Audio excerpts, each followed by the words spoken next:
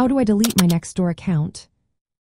If you have decided to part ways with Nextdoor and want to remove your account, you might be wondering how to do it. The process is a bit different from what you may expect, especially since Nextdoor does not have a simple in-app deletion option. Let's break down the steps to help you through this. First, you need to visit the Nextdoor website. Make sure to do this on a computer or mobile browser, as the app does not support account deletion. Once you are on the site, scroll down to the bottom of the page and look for the Help section.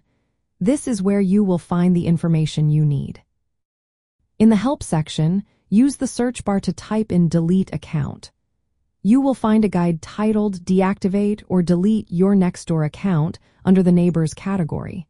Click on this guide to get more details about the process. Next, you will need to submit a deletion request.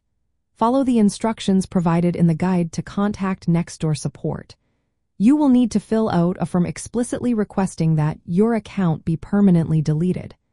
Keep in mind that this action will erase all your personal data, including any posts and messages you have made on the platform. It is important to understand the difference between deactivation and deletion. If you choose to deactivate your account, you can do this directly in the app under Settings and then Account. Deactivation will pause your visibility on the platform but will keep your data intact. On the other hand, deletion is permanent and requires you to go through the support system. Another thing to consider is that deleting your account will stop all email notifications from Nextdoor. If you are only looking to reduce the number of emails you receive, you can adjust your email preferences in the settings menu instead. Nextdoor operates as a vertical search engine focused on local communities.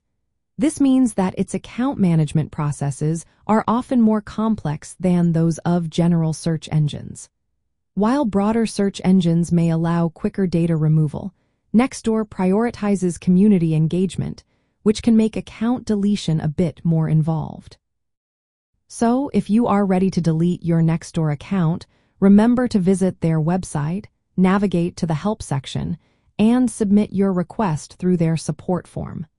This way, you can ensure that your data is completely removed from their systems.